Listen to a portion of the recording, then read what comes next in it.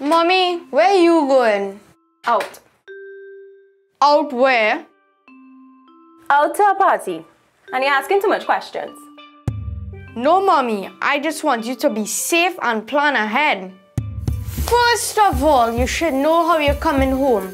And remember to keep enough cash on you for your return or organize a lift with someone you trust. Safety in numbers. So please stick with your friends. Avoid dark, isolated areas and keep in busy, well lit places.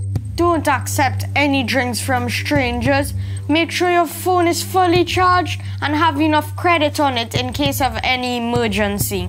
So, Mom, enjoy yourself and keep it safe. And I'll be waiting for you here.